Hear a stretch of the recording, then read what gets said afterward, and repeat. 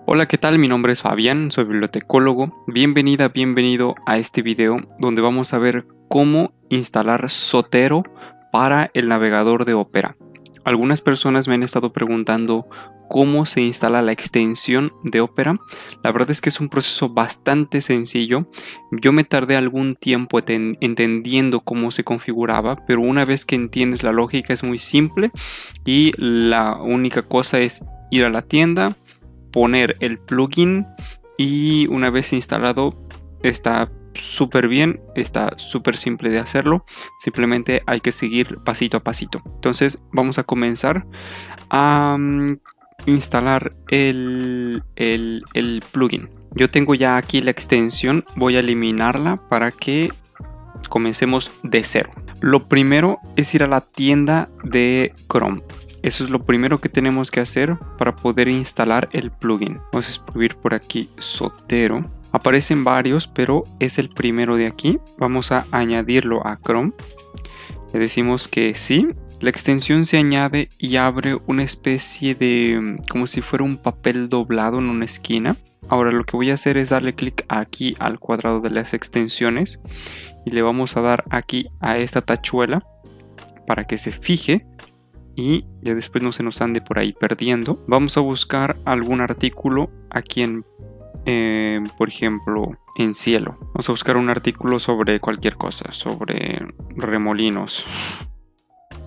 Aquí me parece que este es interesante. Ahora, cuando tenemos un artículo en el navegador, lo que pasa es dos cosas. Primero, se nos pasa, en lugar de tener un papel, se nos pasa a tener una Z. Y otra cosa importante, es necesario tener abierto Sotero del escritorio, porque si no, no se va a guardar.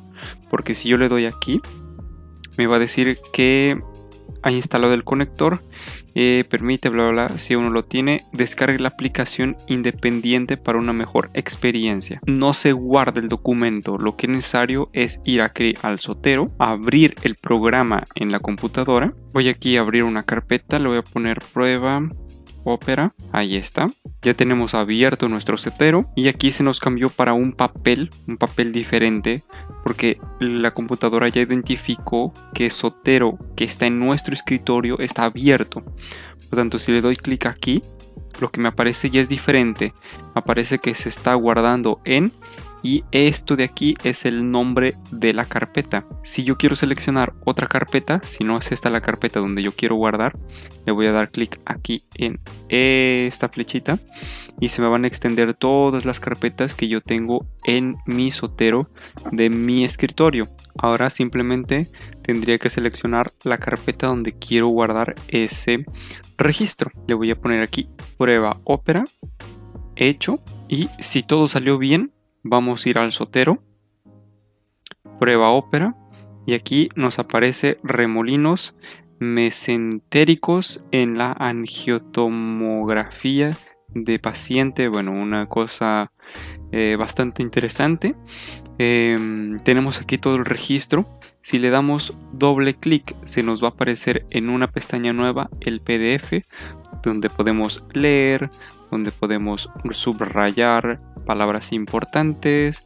Podríamos poner también notas por aquí, escribir notas importantes y aquí de este lado nos aparece. Tiene bastantes funcionalidades Sotero que ya iré mostrando en otros videos. Así que este video fue bastante cortito, solamente para mostrar eso. Fue una pregunta que alguien me puso en un comentario y decidí hacer como un video así más extenso porque ya tenía algún tiempo que, no publicaba nada y es necesario seguir alimentando la, la comunidad que está aquí en YouTube así que espero que les haya sido de utilidad y nada si tienes más dudas sobre Sotero, déjamelas aquí abajo en el comentario.